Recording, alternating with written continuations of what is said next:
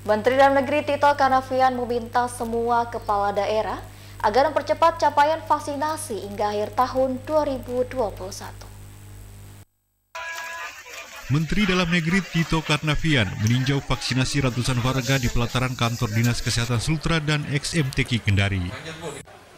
Setelah itu Mendagri gelar rapat tertutup di rumah jabatan Gubernur Sultra membahas vaksinasi yang belum memenuhi target bersama Bupati, Wali Kota, dan Forum Pimpinan Daerah. Tito mendesak para kepala daerah segera mencapai target akhir Desember 2021. Jika tidak, pemerintah akan memberi sanksi teguran tertulis.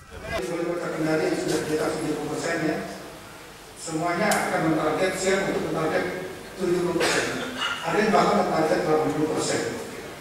Nah selanjutnya nanti kita akan evaluasi.